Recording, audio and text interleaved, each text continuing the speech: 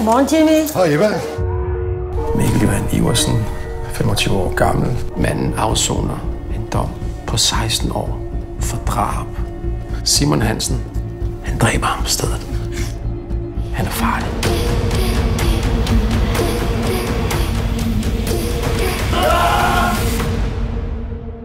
Jeg er Simons mor.